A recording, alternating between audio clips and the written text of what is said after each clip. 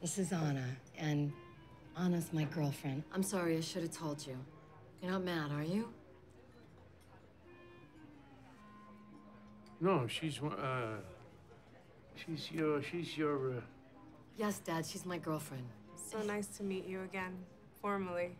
And you too. I hope you're not mad at us. I'm not mad. No. Rita missed you quite a bit, and well, she couldn't wait for me to meet you. Well, she's a great girl. Everything, I mean, her happiness is everything to me. You're not mad? I'm not mad. She's so beautiful. Let's sit down and order some wine. Yeah, a bottle of Amarone.